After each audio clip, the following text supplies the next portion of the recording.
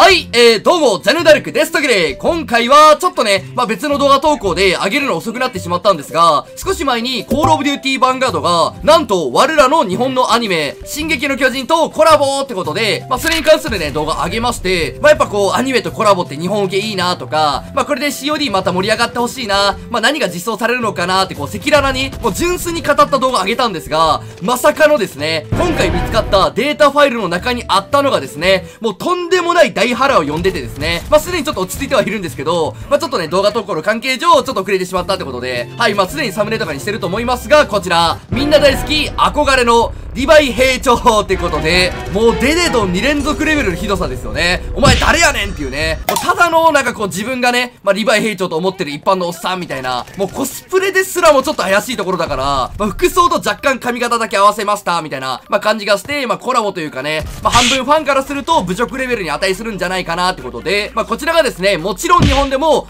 大批判の嵐、そして海外でも、えー、めちゃくちゃ言われております。はい、もう記事が書かれるぐらいね、結構言われておりまして、まあ、特に海外でもやっぱ進撃の巨人って人気だから、まあ、このリヴァイ兵長には、もう海外勢でも、まあ、こんなコラボは期待してなかった、こんなんだったらない方が良かった、みたいなファックだとか、もうなんかもう潔癖症どころかこのリヴァイ兵長不潔そうとか、えー、巨人がいなかった世界線のリヴァイ兵長みたいなね、もう好きかって言われておりまして、まあ、炎上ってよりかどっちかって言ったらおもちゃですね、はい、されております。まあまあ、なんか盛り下がるよりか、まあまあこういう形で、まあおもちゃにされて盛り上がるぐらいの方が、まあ COD でちょうどいいのかなとか思ったりとかしてるんですけど、まあ具体的に、まあこいつがね、実装されるかは不明ですが、まあ、一応ね、現時点の情報だと、キャラクターダニエルっていうね、まあ、米軍のキャラクターが適用されるってことで、まあ、ここはね、ちょっとポイント高いなってところがありまして、あの、一応まあ、ここからネタバレ含むんで、テロップではスキップ推奨の時間書いておくんですけど、あの、まあ、一応リヴァイ兵長ってめちゃくちゃ強いじゃないですか。で、あれって一応秘密があって、実はアッカーマンっていう特殊な一族なんですよね。まあ、ミカサも実はそのアッカーマン一族なんですけど、で、ミカサが確かアッカーマンと東洋人のハーフだったはずなんですけど、まあ、その東洋人ってのが実際に、まあ、進撃の巨人内には非いずる国っていう、もうバチバチ日本を意識した国があってですね、まあそのリヴァイ兵長自体はその東洋とか日本とか関係ないんですけど、ただダニエルってキャラクター自体が、あの非常にこう複雑な環境に置かれてて、まあ実際ねちょっとプロフィールにも記載されておりますが、実はこの人、アメリカ生まれなんだけど、両親が日本人なんですよね。だからまあちょっと言いたいことわかるでしょ。まあどっちかって言ったらね、ミカサとかの方だったら、ドンピシャかなと思ったんだけど、まあそこはまあ日本人というかまあ男性キャラクターだから、まあリヴァイに無理やりしたのかな、みたいな。だからちょっとまあこう、国籍で、なんかまあ特殊キャラ、みたいな。実際まあリヴァイ兵長の出生がちょっと明らかになるまでは確実に東洋人でしょって考察されてたりとか、まあなんか身長ちっちゃいじゃん。だから、まあ日本人意識してるだろうみたいな。まあ結構出た時は、ね、言われてたんだけど、まあ残念ながら東洋人ではなくっていう。まあそこら辺はちょっとこれ以上話すと進撃の巨人の動画になるんで、まあここら辺にしておいて、まあちょっとまあ出世に闇があるってキャラのチョイスはね、すごいいいなって思ったんですけど、ただやはりダニエル、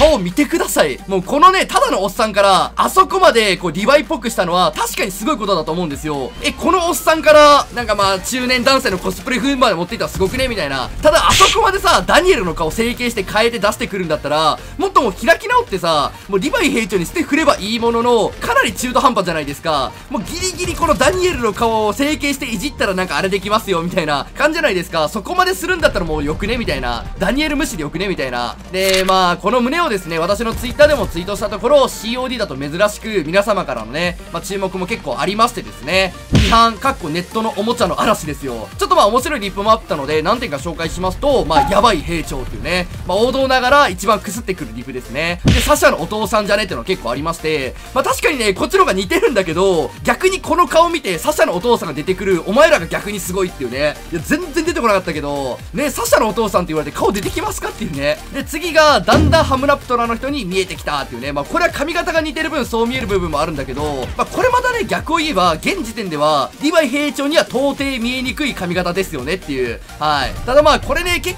構、あーまあねっていうコメントとかあったんだけど、まあ、進撃の巨人ってちょっとハリウッド化とか話あるじゃないですか。で、まあ、そういうね、そのがっつりハリウッドキャラとかでイメージして、リアルで作ったら、こんなもんちゃうのっていうコメントが2件ぐらい来てて、まあ、そう言われると、まあ、確かにコールオブデューティーヴァンガードっていうその縛りで、キャラ感でやったら、こんなもんかなって感じではあるんだけど、ただ BOCW ではそのランボーとか、あのマクレーンがめちゃくちゃ再現度高かったじゃないですか。だからまあそのアニメキャラをね、このリアル 3D で再現って難しい話だと思うんですけど、なんかまあその前作がめちゃくちゃコラボね、クオリティ高かった分、もう少し努力してもよかったんじゃないかなっていう。まあ海外でも日本でもね、えー、先ほど言った通り声は大きく上がってましたので、ちょっとまあ皆さんもこれに関してね、ちょっと感想コメントを書いていただけたらなと思います。で、ついでにこの大批判スキンの次に、実際実例として削除するまでに至った経緯のスキンが、実はお隣の学園、BF2042 学園でも実はありましてですね。まあ日本人で動画化してた人あんまりいないから、ちょっとまあ僕も正しい情報が全部言えるかってちょっと怪しいところではあるんですけど、まあ一応まあいろんな記事を参考に話させていただくと、まずこちらご覧ください。まあボリスっていうね、COD でいう、まあセントリーが、まあターレットを設置するおじさんなんですけど、まあそれのクリスマススキンでサンタさんってことで、まあこれね、まあ皆さん普通に、お、ええやんみたいな、まあおじさんキャラに合ってるやんって思う方は非常に多いと思うんですよ。まあ日本人とかだったらね、まあ全然ええやん、これ全然課金するでって方多いと思うんですよね。ただこれがですね、リークで出たところ、バチバチに海外では大大大炎上しまして、まずまあ BF の世界観として、まあ乖離してるだとか、まあまだね、その出回った時はバグが多かったので、まあそのバグで、まあフラストレーションが溜まってるところにこのスキンだから、そんなことしてる暇ないやろ早くこのクソゲーを修正しろってまあ好きかって言われて、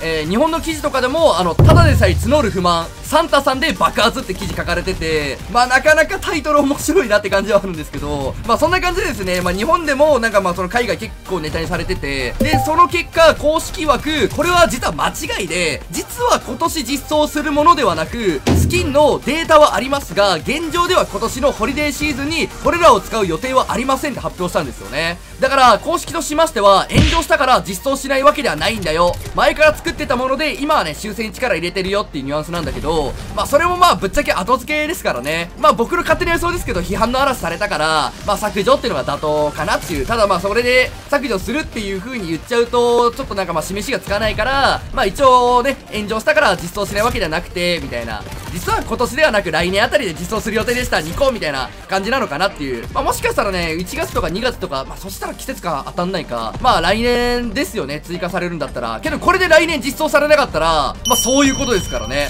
ただやっぱりね、このレベルで燃えるって相当なんか COD と BF の差ありますよね。純粋にこのスキン見てさ、普通によくね？っていう、え、これぐらいええやんみたいな、思いますよね。全然ええやんみたいな。BF2042 ってむしろなんかこう、未来感出してるからさ、まだ。架空じゃん、どっちかって言ったら。全然それで良くないっていう、思ったんですけど、やはりまあ、受け入れられないっていう。まあ、正直 BF に関しては、前作、前々作が泥臭い一次戦だとか二次戦だから、まあそっちのそのミリオタだとか、雰囲気大事にって人が、まあ海外だとね、そのめちゃくちゃいるだろうから、まあ仕方ないところではあるんだろうけど、批判が出るのは。やっぱまあ普段からね、その派手スキン見てるね、COD とか、そのモバイルゲームとかやってる人からすると、まあこのサンタスキン先ほど見た通り全然ええと思うし、センスあるなと思ったけど、まあやはりまあそれはね、ビーフだけをその、やってないから、そういう意見になってしまうのかなってことで、まあ今回ね、このディバイ兵長のスキンとちょっと重ねてね、こちら BF2042 の削除スキンも紹介させていただきました。いやけど BF2042 で、その進撃の巨人コラボとかしてほしいですよね。まあどれぐらい燃えるかなっていうまあちょうどね、そのグラップルキャラいるから、まあ前までね、その難攻不落のブレイクスルービル上攻略ってあったから、